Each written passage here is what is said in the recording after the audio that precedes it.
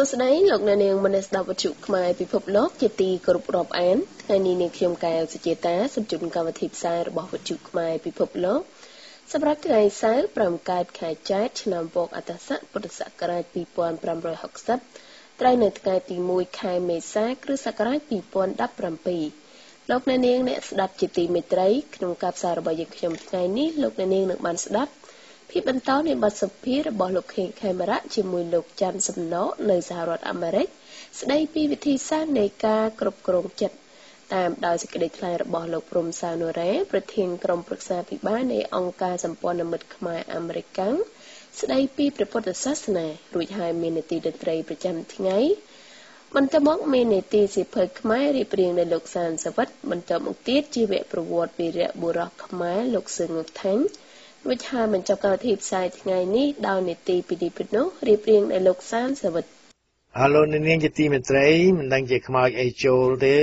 បានជាយករឿងអស់ទាំងនេះមកជម្រាប បាទច្រើនពេកចាំមិនបាន ខ្លួនខ្ញុំនឹងក៏ចាំមិនបានហើយ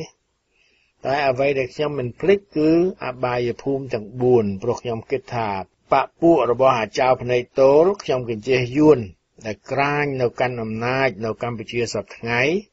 រួមទាំងពួកមនុស្សចង្រៃជួជាតិទាំងឡាយទាំងពួង ពេលស្លាប់ទៅ មានដូចជាស្ដេចសៀនុជាស៊ីម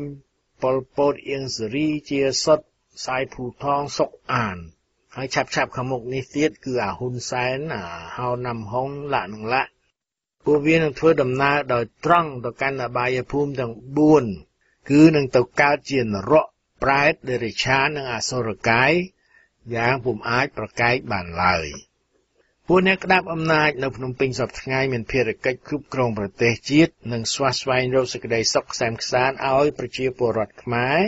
តែអ្វីដែលពួកវាបានធ្វើហើយនឹងកំពុងធ្វើគឺផ្ទុយស្រឡះពីទួនាទីរបស់ពួកវា យើងទាំងអស់គ្នាបានឮពាក្យអួតអាងរបស់អាខ្វាងម្ដងហើយម្ដងទៀតថាសេដ្ឋកិច្ចខ្មែរក្រោមការដឹកនាំរបស់វានឹងកើនឡើង យ៉ាងខ្លាំងដោយមិនបាច់ពឹង IMF អីនោះទេមិនដឹងថាប្រទេសនេះយ៉ាងម៉េចហើយប្រទេសខ្ញុំក៏អញ្ចឹងណា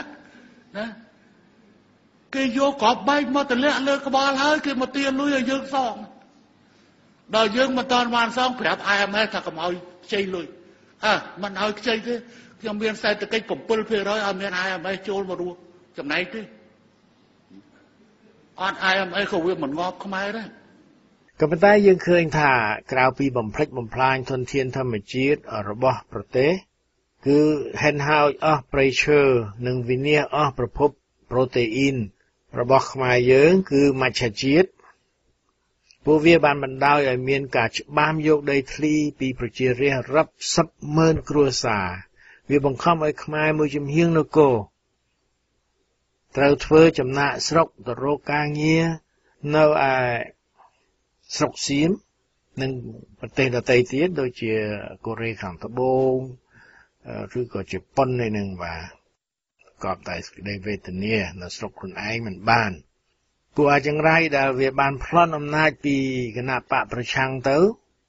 ពុំបានអើពើចំពោះសុខាភិបាលនិងវិស័យសិក្សាធិការនៅក្នុងប្រទេសយើងឡើយក្រោមកិច្ចគ្រប់គ្រង ចៅព្រៃរបស់ពួកវារាប់ទសវត្សរ៍កន្លងមកនេះដែលវាអួតអាងថាសេដ្ឋកិច្ចចម្រើន7%ស្អីផនវានោះឃើញមានតែនៅភ្នំពេញនិងក្រុងមួយចំនួនតែប៉ុណ្ណោះដូចជាសៀហនុវាលឬក៏សៀមរាបដែលអាចមានការរីកចម្រើនខាងវត្ថុនិយមគឺជាពិសេសគឺខាងអបាយមុខដូចជា លបែងស៊ីសង ការប្រណាំងប្រជែងកន្លែងកំសាន្តសប្បាយដូចជាការ៉ាអូខេបនស្រីខូចបាទបនគក់ច្បាច់ម៉ាស្សាអីអស់ហ្នឹងខណៈដែលនៅចុងកាត់មិត្តញោកឬស្រុកភូមិដែលនៅឆ្ងាយបន្តិចពីទីក្រុងពួកវាអិតរវីរវល់អំពីជីវភាពរស់នៅរបស់រាជខ្មែរនោះទេ សាលារៀនរខេរខាអ្នកភូមិរស់នៅ ខ្វះមុខខ្វះក្រោយគ្រាន់តែដងទឹកក៏ពួកវាមិនព្រមរកឲ្យពួកគាត់ដែរអាងតែអង្គការ NGO អង្គការសប្បុរសធម៌និងបងប្អូនខ្មែរនៅបរទេសដែលមិនអាចទ្រាំមើលខ្មែររស់នៅយ៉ាងវេទនាដូច្នេះបានក៏សស្រាក់សស្រាំស្រាក់ប្រាក់គ្នាធ្វើបច្ច័យ មកសុំឲ្យប្រដេជគុណរួនសវាតក្តីបុត្របុន្តែងក្តីនិងយុវជនយុវនារីមួយចំនួន ដែលមានចិត្តព្រះនៃចលនាជួយជាតិមួយចំនួន ដែលចែកអំណោយឲ្យខ្មែរដែលរងទុក្ខវេទនាពីការមិនអើពើរបស់រដ្ឋាភិបាល នៃគណៈបកប្រជាជនដែលយួនបង្កើតនេះបាទសេចក្តីសុខសប្បាយនៅស្រុកខ្មែរឃើញមានសុខសាន្តមែនទែនតែពួកមេធំធំពួកអុកញ៉ាអុកញុក ពួកអឺឈ្មួញអីខ្លះមនុស្សភាគច្រើនពិបាកវេទនាបាទយើងបានទទួលដំណឹងគួរឲ្យឈឺចាប់ពីស្រុកខ្មែរមកស្ដីពីភូមិនានានៅតាមខេត្តមួយចំនួន ដូចជាព្រះវិហារកំពង់ធំបាត់ដំបងពោធិ៍សាត់អើយគ្រប់គ្រប់ខេត្តបាទមែនទែនទៅនឹងដែលខ្វះខាតសាលារៀនក្មេងៗត្រូវបង្ខំចិត្តរៀនក្រៅម្លប់ឈើឬក្នុងជង្រុកដែលគេបោះបង់ទៅហើយនោះ មានការស្នើសុំថាវិការទៅអង្គការលើ តែចម្លើយចុះមកគឺនៅមានសាលាដែលរខេរខាទរនទុរាជាងដែលគេសុំទៅនឹងច្រើនពេកណាស់ដូច្នេះគេអត់ជួយអីទេម្សិលមិញនេះមូលនិធិខ្មែរដើម្បីខ្មែរដែលមានកញ្ញាដារវីរបស់អលោកនាងជាប្រធានបានប្រាប់ថាភូមិចំបក់មាសនិងភូមិជិតខាងនៅក្នុងខេត្តពោធិ៍សាត់ ចុះទៅខាងបែកទន្លេសាប មានការខ្វះខាតសាលារៀននឹងយ៉ាងខ្លាំងសាលាដែលខ្ញុំទៅហ្នឹងវាដាច់សញ្ញានៅចិត្តដល់ព្រៃរនាមហើយគាត់ថានៅហ្នឹងវាមាន3ភូមិដែលរៀននៅជាមួយភូមិចំបក់មាសហ្នឹងណាអញ្ចឹងវាមាន3ភូមិនៅវាមានភូមិប្រាំងពេភូមិទួលខ្មែរនិងភូមិចំបក់មាសឃុំស្នាមព្រះស្រុក បាកានខេត្តពោធិ៍សាត់ដោយសារឆ្ងាយផងហើយស្នើសុំនាយកសាលាមិនមិនសុំណាសុំទៅក្រសួងទៅក្រសួងថានៅសាលាច្រើនដែលគេ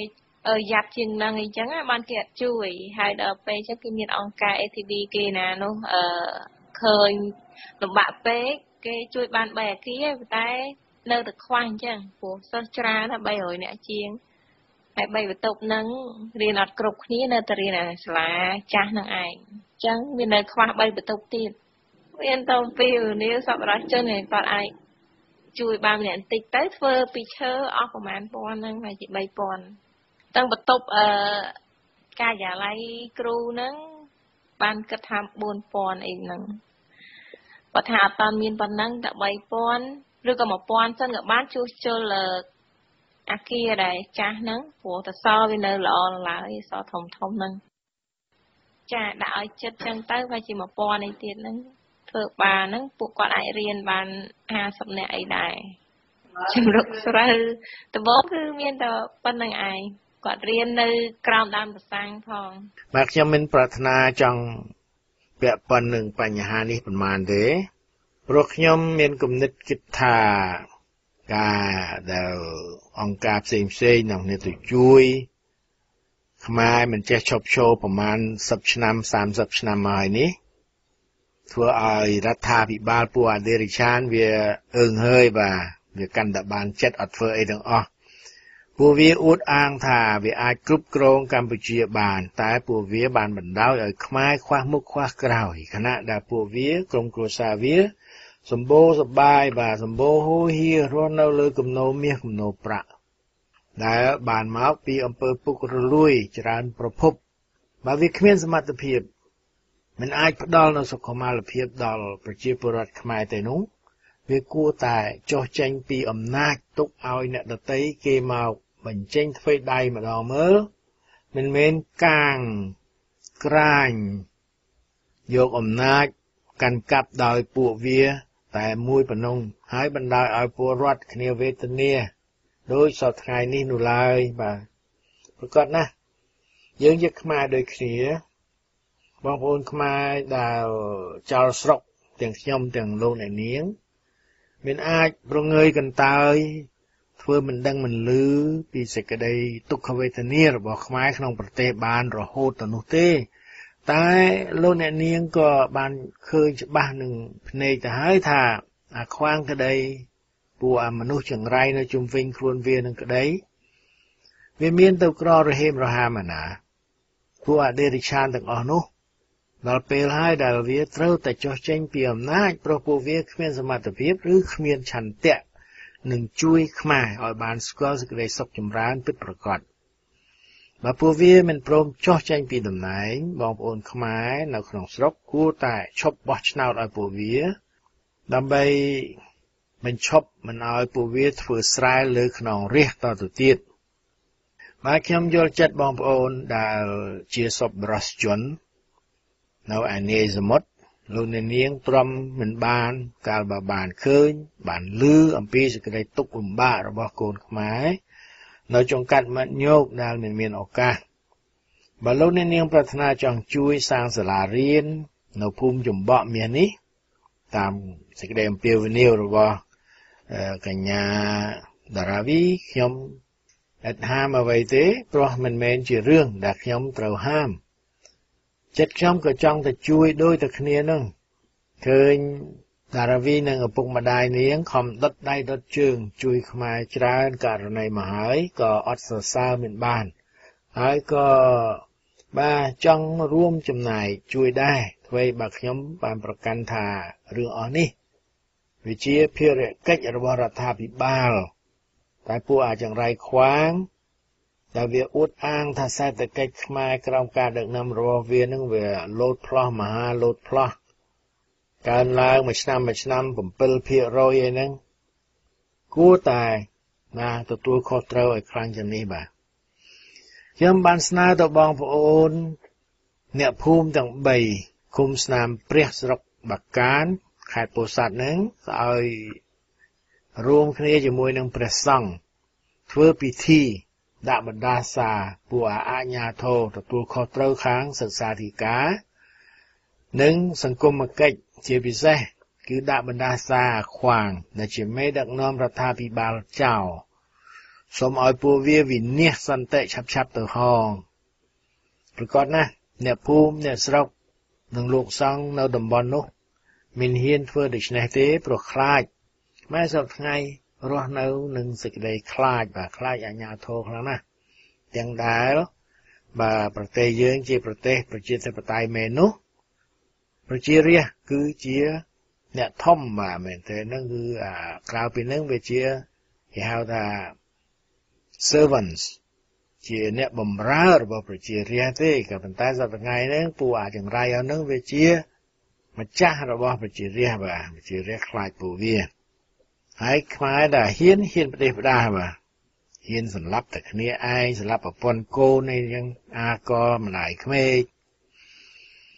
បាទហេតុចោះរឿងនេះខ្ញុំនិយាយឲ្យនិយាយជាតិ